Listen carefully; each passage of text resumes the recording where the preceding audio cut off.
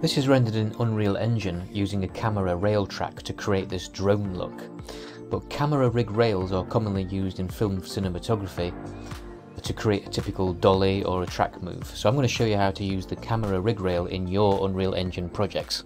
So I'm going to go to where I want to start and I'm going to add a camera rig rail. I'll drag that into the scene, press F to go there, press G to see it and point it in the direction I want to start. Now these rig rails are spline based and to see that I click on it again and to manipulate the spline points I click once, I click twice to go into the spline component that's just how you click through it and move these spline points around for your uh, dolly or tracking shots on your dead straight rail. But I'm going to show you how to, a couple of ways to add extra points. So with this one selected on the end, if I hold down Alt and drag that out, let go, hold Alt again, drag that out there. Or if I have one selected in the middle, I can add an extra one there by hold, holding down Alt and dragging. Or press delete to get rid of it. Or another way to add a brand new one at a point that you want is right click where you want it and add a spline point there. You can select the points and change their weighting or their rotation to get that just how you want. Of course if you're doing a fly through it can float wherever you want it to. So that's how you edit it. Let's add a camera. And drag that into the scene.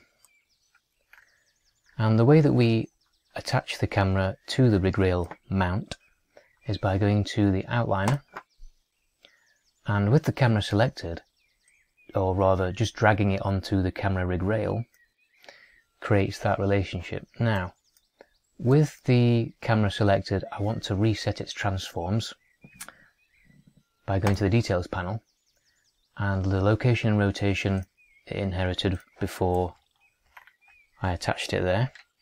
So that looks more like it. I'm going to change this to local. I'm going to move it up to a typical height and move it forward a bit so that the body of the camera is over the rail mount uh, because if it's on a tripod it's that's where it'll be attached and therefore that's where it'll rotate from. A bit more realistic. So now if I select the rail the way that we move it along it is by in the details panel and the rail it says current position on rail. Zero is uh, the first spline point and one is the last spline point. So I can drag to go between the two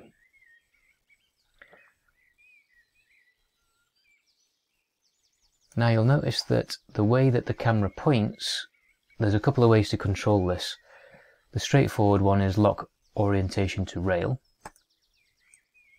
uh, which looks like a roller coaster. But we want to use a target, so I'm going to unhook that and add in a target. Add target, target point, and I'll move that to there to make it obvious. Now with the camera selected under the look at tracking settings I need to enable look at tracking.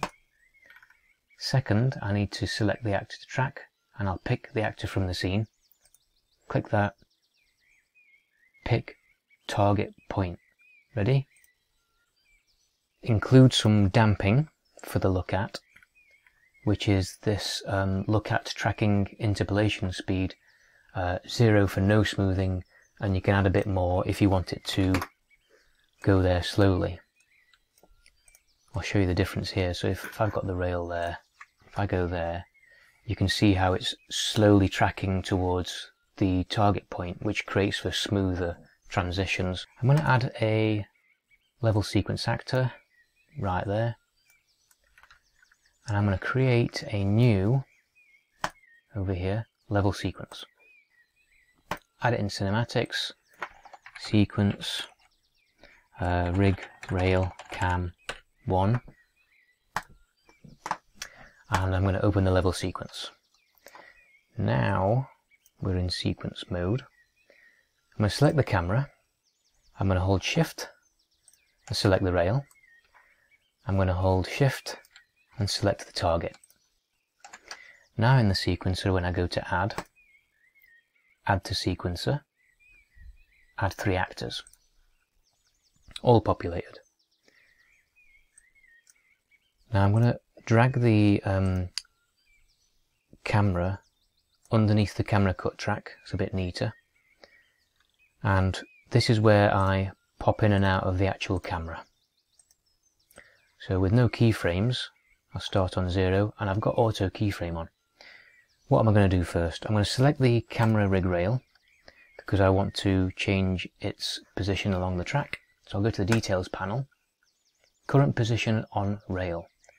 I can either add the keyframe here or in the sequencer add a track, current position on rail. I'll click it in the details panel to add my first keyframe I'll move along to the end. Actually, I'm going to drag this out a little longer. And make sure that's over there.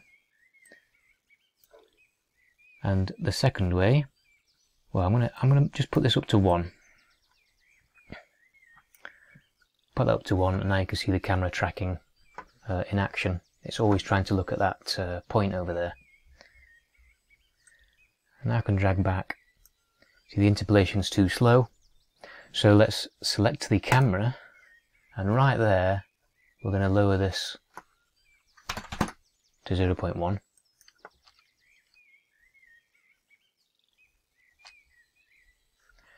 No, we're going to increase it to uh, 0.8 so, so it gets there quicker. And I can also keyframe the um, target point of course. So I click on transform and press S with it selected. I go to the end and I'm going to pop out of the camera so I can see what the animation is going to be along the line. So that, that target there, I think about here, I want it to be somewhere over here. See how it looks.